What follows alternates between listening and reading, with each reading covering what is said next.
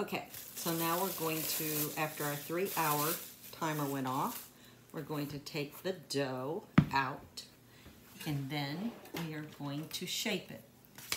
This takes time and practice. It's not going to be as easy. When you do it the first few times, you're going to absolutely think it's a disaster. Don't worry. Take your little trusty rubber and it will pretty much just spill out ta-ta-ta. See? I'm going to wet one hand. And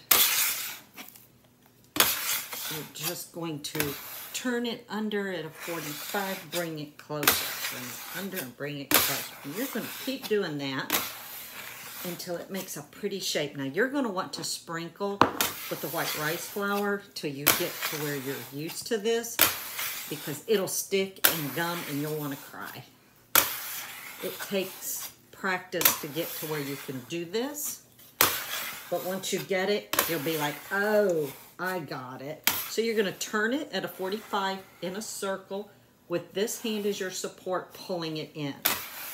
45 degree circle with this hand is supporting it. The tighter you make this ball to where it's really nice and shiny, See that? How shiny? It will be a better bread. Like, see that? That is beautiful. Then I always put lots of white rice flour on it. Add to that no matter what.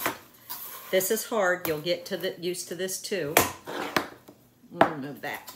And you're going to take it, pick it up, flip it, and dump it in. And as you can see, there's really not much there. Then you're going to pinch and lighting sucks. You're gonna pinch, pinch, pinch, and it'll stick because you don't have no white rice flour on that part yet. And you're just gonna pinch it and it'll hold. It'll come undone a little bit, but it's still gonna make it tight.